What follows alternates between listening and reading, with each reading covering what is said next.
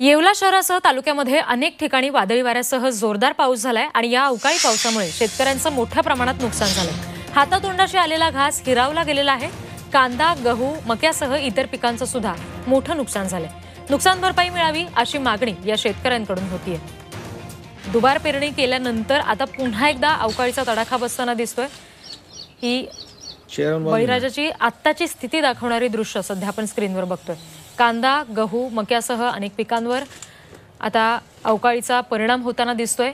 मोठं आर्थिक नुकसान शेतकऱ्याचं होत आहे दोन वेळा तीन वेळा ही पेरणी केल्यानंतर पुन्हा एकदा जर पावसानं नुकसान झालं तर नेमकं काय करायचं? हा प्रश्न सध्या बळीराजा पुढे उभा आहे. शेतकऱ्यांचं खूप प्रचंड प्रमाणात नुकसान होत आहे.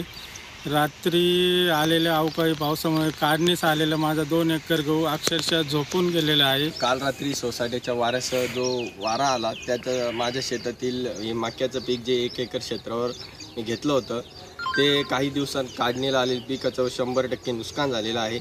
आमचे कांदे पंधरा दिवस काढायला आलते तर रात्री अचानक अवकाळी पाऊस झाला. त्याच्यामुळं आमच्या कांद्याचा भरपूर नुकसान झालं आहे तर शासनाने आम्हाला त्वरित त्याची काही ना काही भरपाई द्यावा. हरी संसार संसार. बहिणाबाईंची जात्यावरची ओवी. म्हणजे?